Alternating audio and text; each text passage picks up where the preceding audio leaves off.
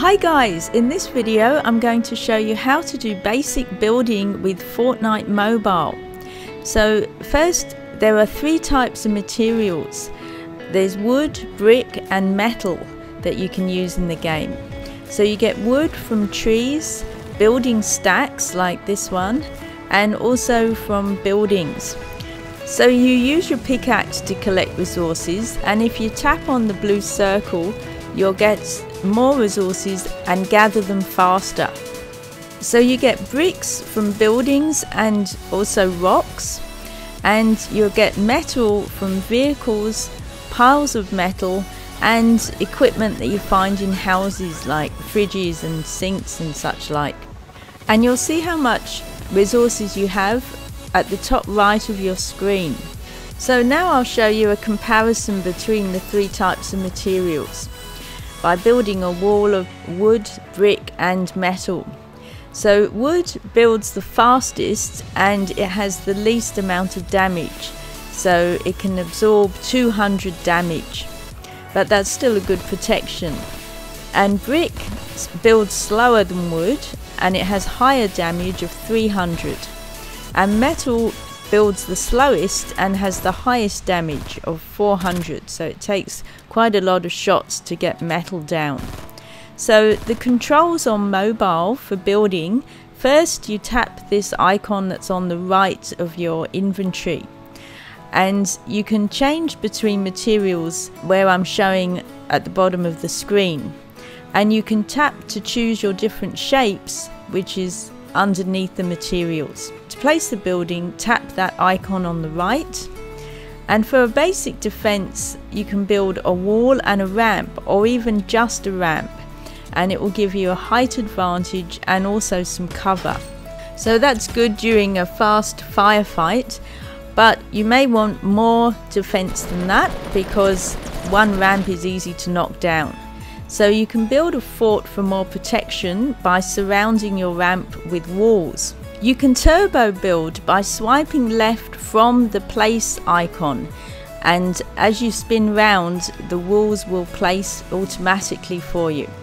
Then jump to place a second ramp or the ramp will build over the top of your head.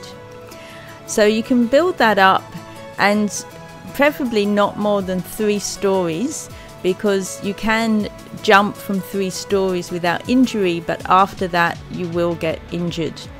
You can edit the buildings by tapping the icon on the right that I'm showing there. And if you tap one square, then you'll have a window, and you need to tap the edit icon again to make that happen. You can remove two squares by tapping them to make a door and that's useful for a sneaky getaway so that your enemy doesn't know that you left your fort. You can also tap two squares on one side and one square on the other side and then you'll have both a window and a door. And the window is helpful for spotting enemies so you can shoot them. But also, if you're held up in a fort, knowing someone's nearby, you can use the edit to try and spot them because you can see through it, whereas they can't see through your wall. So that's a good trick, particularly in the final circle when you're looking for the other people. So for defense, you can make a larger fort and that will confuse the enemy as they won't know exactly where you are.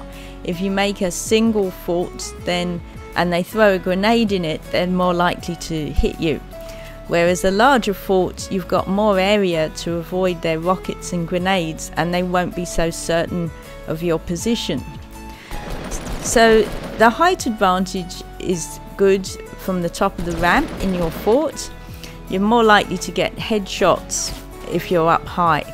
And you can also use your cover to heal it's often a good idea to build yourself a small fort before using bandages and shields in case somebody spotted you. He was building in action during a firefight and I built up and so did the other player. And I could spot her through her window there or her door but in the end I didn't have the patience to wait because of the storm coming.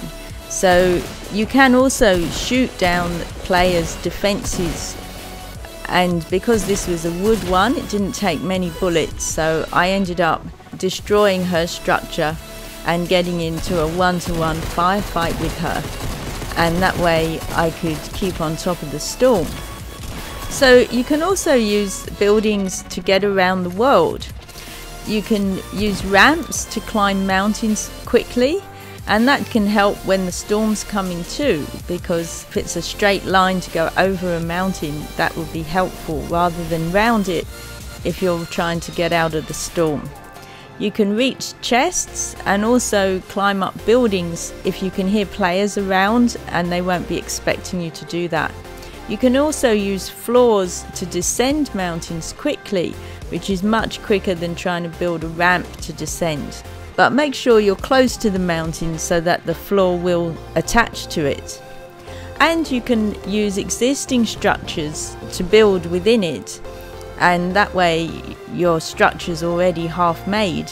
And if you're on top of a house and your structure is destroyed, you at least will land on the house roof, so that can help too.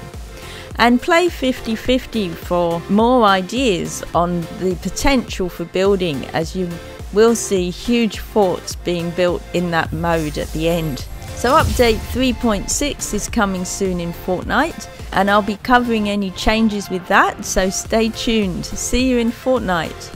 Thanks for watching TamL Channel, your favourite channel for Fortnite Mobile and Infinity Blade. If you enjoyed the video, please like, comment and subscribe and check out my website and social pages. Thanks, see you next time.